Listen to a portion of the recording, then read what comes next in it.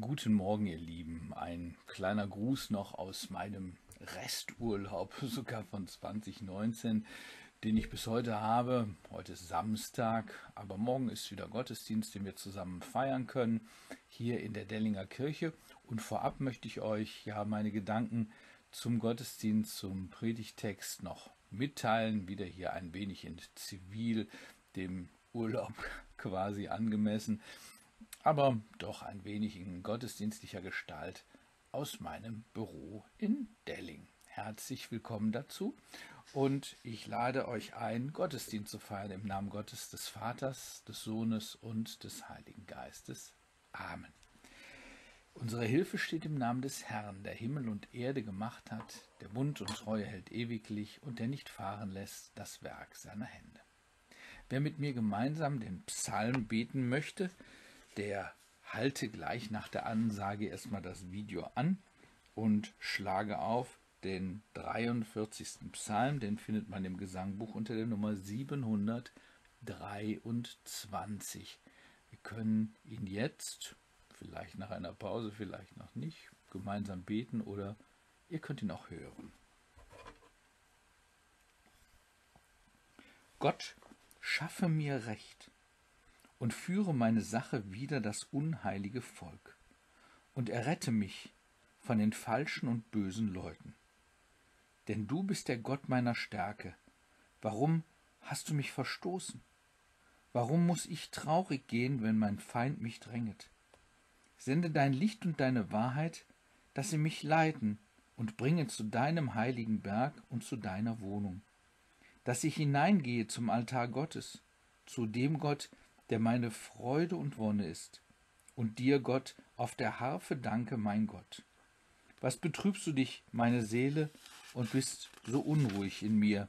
Harre auf Gott, denn ich werde ihm noch danken, dass er meines Angesichts Hilfe und mein Gott ist. Er sei dem Vater und dem Sohn und dem Heiligen Geist, wie es war im Anfang, jetzt und immer da und von Ewigkeit zu Ewigkeit. Amen. Lass uns beten. Guter Gott, du bleibst uns Zuflucht. Und nicht aus uns allein soll das fließen, was Gerechtigkeit und Recht ist, sondern es ist im letzten von dir, eine Gabe, die du in diese Welt hineinspendest. Schaffe mir Gerechtigkeit und Recht, so betet der Psalmbeter und legt damit sein Elend, seine Interessen, all das, was ihm am Herzen liegt, in deine Hand, in die Hand dessen, der größer ist als all unsere Vereinzelung, in die Hand dessen, der über all unseren Taten steht.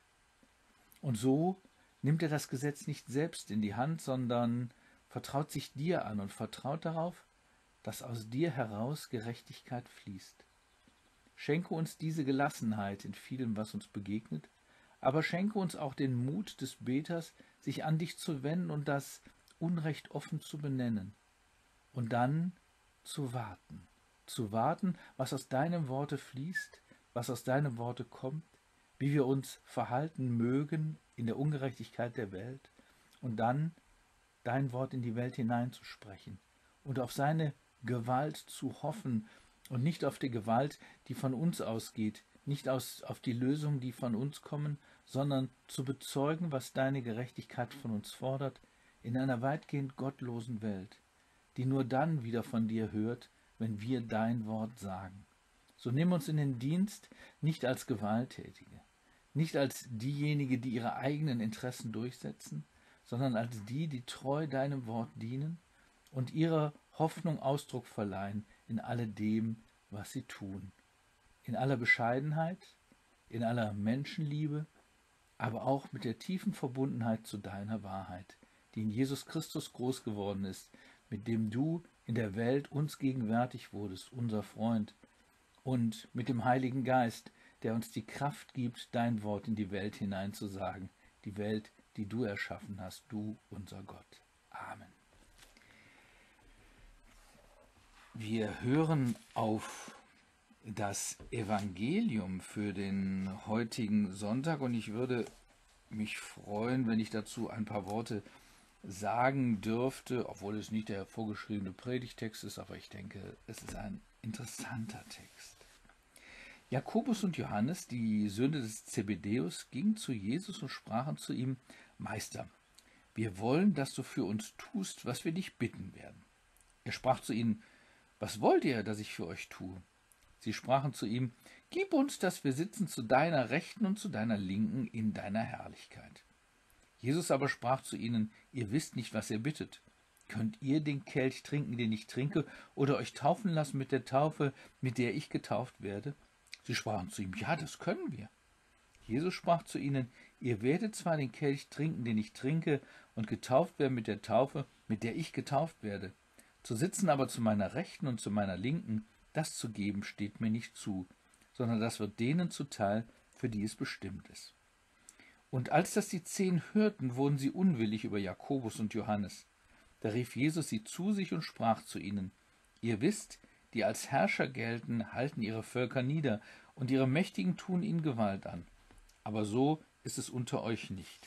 Sondern wer groß sein will unter euch, der soll euer Diener sein. Und wer unter euch der Erste sein will, der soll euer aller Knecht sein. Denn auch der Menschensohn ist nicht gekommen, dass er sich dienen lasse, sondern dass er diene und sein Leben gebe als Lösegeld für viele. Dieser Text steht bei Markus im zehnten Kapitel, es sind die äh, Verse 35 folgende. Selig, die Gott das Wort hören und bewahren. Amen. Lade euch ein, gemeinsam unseren Glauben zu bekennen.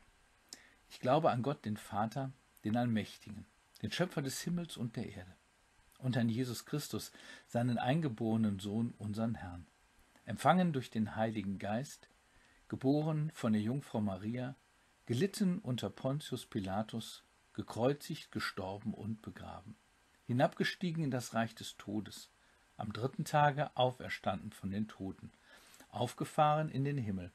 Er sitzt zur Rechten Gottes des allmächtigen Vaters. Von dort wird er kommen, zu richten die Lebenden und die Toten. Ich glaube an den Heiligen Geist, die heilige christliche Kirche, Gemeinschaft der Heiligen, Vergebung der Sünden, Auferstehung der Toten und das ewige Leben. Amen. Zu einem Gottesdienst gehört natürlich auch ein wenig Gesang. Wenn ihr es mögt, dann singt doch mit mir zusammen. Und zwar das Lied unter der Nummer 395 Vertraut den neuen Wegen 395. Vertraut den neuen Wegen, auf die der Herr uns weist weil Leben heißt sich regen, weil Leben wandern heißt. Seid leuchtend Gottes Bogen am hohen Himmelstand, sind Menschen ausgezogen in das gelobte Land. Vertraut den neuen Wegen und wandert in die Zeit. Gott will, dass ihr ein Segen für seine Erde seid, der uns in frühen Zeiten das Leben eingehaucht, der wird uns dahin leiten, wo er uns will und braucht. Vertraut den neuen Wegen, auf die uns Gott gesandt. Er selbst kommt uns entgegen, die Zukunft ist sein Land. Wer aufbricht, der kann hoffen in Zeit und Ewigkeit. Die Tore stehen offen, das Land ist hell und weit. Ja, Gnade sei mit euch und Friede von dem, der da war, der da ist und der da kommt. Amen. Neue Wege. Auf denen sind die Jünger Jesu unterwegs. Er eröffnet ihnen Horizonte, Horizonte über das hinaus, was sie kennen. Und dennoch sind sie immer noch tief hineingebunden in ihre Vorstellungswelt, in die Traditionen ihres Volkes. Und zu dieser Tradition gehört eben auch das Bild von der Herrschaft Gottes, davon, dass der Messias die Herrschaft Gottes aufrichtet und dann in einem großen Gericht, in einer großen Herrschaft über die Welt, ja, Recht sprechen wird, richten wird. Und dieses, dieses Bild wird ja allenthalben auch vom Evangelium aufgenommen. Und das ist insofern irritierend, weil es immer der Korrektur bedarf. Weil wenn wir von Gericht sprechen, dann gehen wir erstmal von einer Herrschaft aus, die legitimiert ist, die sich durchgesetzt hat, die durch gewisse Machtmittel stabilisiert ist. Und diese Herrschaft verträgt sich so gar nicht mit dem, was Jesus dann den beiden Jüngern, die zu seiner Rechten und zu seiner Linken sitzen wollen, also die an seiner Herrschaft teilhaben wollen, an ganz prominentem Ort, was er denen denn sagt. Er sagt, könnt ihr den Kelch trinken, die Taufe äh, empfangen, mit der ich getauft werde. Das bedeutet, könnt ihr in dieses Leiden, in diesen Tod hineingehen für die Sache Gottes? Und sie sagen ja. Und er sagt, ja, das wird doch tatsächlich so sein. Aber das heißt noch lange nicht, dass euch irgendeine Herrschaft bestellt wird, nämlich das liegt Jesus selbst aus der Hand. Und natürlich werden die anderen Jünger unwillig, dass da zwei von ihnen quasi vorbrechen und sagen, wir wollen aber jetzt einen super Posten in deiner Verwaltung haben, einen super Posten in deiner Herrschaft haben, wir wollen quasi im Thronrat die Ersten sein. Und dann nimmt Jesus sie nochmal zusammen, äh, ruft sie nochmal zusammen und bricht quasi das Bild von der Herrschaft, vom Gericht Gottes von innen heraus auf. Er definiert es neu, er, er erklärt es seinen Jüngern neu und zwar so, dass Herrschaft Gottes etwas ganz anderes bedeutet, nämlich Herrschaft bedeutet im Sinne Gottes dienen, den anderen zu Diensten sein und nicht von vor oben heraus, herab zu verhängen. Damit stellt er alle menschliche Herrschaft in Frage und damit erklärte das Paradox dessen, was Herrschaft Gottes bedeutet, nämlich die Liebe zu den Menschen bringen, ihnen zu helfen, so wie der Psalmbeter ja Gott um Hilfe bittet. Dass eben die Menschen nicht niedergehalten werden durch Herrschaft, sondern dass ihnen geholfen wird. Dieses Denken ist bei den beiden Jüngern nicht drin, sondern Sie haben durchaus dieses Denken und die zehn anderen auch von einer Herrschaft, die schon verhängt, die schon niederhält, wo es schon ein Oben und ein Unten gibt. Und in Jesu Tod und seiner Auferstehung kehrt sich das geradezu um. Die Herrschaft, die ist da, wo die Liebe Gottes zu den Menschen gebracht wird und nicht da, wo etwas gewaltsam durchgesetzt wird nach den Mitteln der Welt. Nun ist eine Kirche entstanden im Laufe der Geschichte nach Jesus und diese Kirche ist angetreten, um das Gedächtnis dessen, was Jesus gesagt hat, um die Heilige Schrift zu bewahren und ja, so zu behalten, dass die nicht irgendwie durcheinandergewirbelt wird. Na, so quasi Vertreter des Wortes Gottes. Das ist ja sicherlich auch ein Stück weit notwendig, wenn etwas nicht in Vergessenheit geraten soll. Eine Organisation, die sich etwas zu eigen macht, die sich äh, eine Aufgabe zu eigen macht, nicht die Schrift selbst. Dabei ist es aber denn nicht geblieben, sondern es ist schon sehr, sehr schnell zu so etwas wie der Konstituierung einer Herrschaftsstruktur gekommen, wo verschiedene Ämter existieren. Das spiegelt sich schon in der Heiligen Schrift in einigen Briefen ab. Ämter, die Funktionen wahrnehmen und durch diese Funktionen auch sicherlich durchaus sehr anfällig sind für so etwas wie Herrschaft. Und wenn wir denn auf die Geschichte der Kirchen insgesamt schauen, so ist es immer so gewesen, dass sie nie herrschaftsfrei gewesen ist. Manchmal hat sich Herrschaft ganz klar dargestellt päpstlichen Amt, in einem bischöflichen Amt, in einem Amt als Pfarrer, Pastor und so weiter und so fort. Das gibt es in jeder Konfession, diese Herrschaftsstrukturen. Und ähm, das ist schon nicht mehr das, was Jesus gesagt hat, sondern das ist das, was äh, Jakobus und Johannes wollten, sich quasi in den Thronrat Jesus hineinmogeln und dann zu sagen, was die Menschen zu tun haben und zu lassen haben. Und da hat Kirche sehr, sehr schnell ihren eigentlichen Platz verloren, nämlich sie haben sich zur Herrschaft gemacht, da wo Jesus nie Herrscher gewesen ist und das auch nicht in dem weltlichen Sinne sein wollte. Und unsere ganzen Kirchenlieder legen davon etwa Zeugnis ab von diesem Gedankenherrschaft. Jesus Christus herrscht als König, alles wird ihm untertänig und so weiter und so fort. Dieses Aufbrechen dessen, was in der Welt Macht ist und was von ihm nicht sein soll, das haben wir nur relativ selten, weil wir das Ganze nicht in allem Ernst nachvollzogen haben. Dass es darum geht, nicht zu herrschen, sondern zu nützen.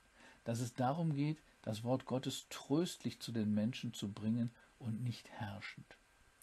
Auch in Gemeinschaften, die sich das zur Aufgabe gemacht haben, keine Herrschaft auszuüben, gibt es natürlich so etwas wie eine geistliche Hierarchie derer, die im Ruf stehen, besonders gut zu können, besonders gut zu wissen oder die sich diesen Ruf irgendwie erworben bzw. erstritten haben. Auch das ist kritisch zu sehen, weil das Letzte ist immer die persönliche Begegnung mit der Heiligen Schrift, der zu dienen allein die Kirche da ist, nicht um zu herrschen, und dann einander zu beraten in Geschwisterlichkeit ohne Über- und ohne Unterordnung.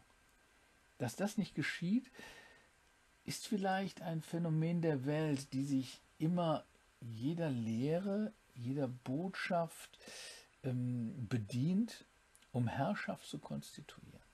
Und das soll nicht sein. Wir sehen es im Augenblick an den Auswüchsen, was heißt im Augenblick, historisch an den Auswüchsen, die diese Herrschaft hervorgebracht hat, Kriege gar, Auseinandersetzungen. Und da hat es auch immer das Problem der Macht gegeben. Das war nicht alles nur um des Wortes Gottes willen, sondern Macht stand immer dahinter.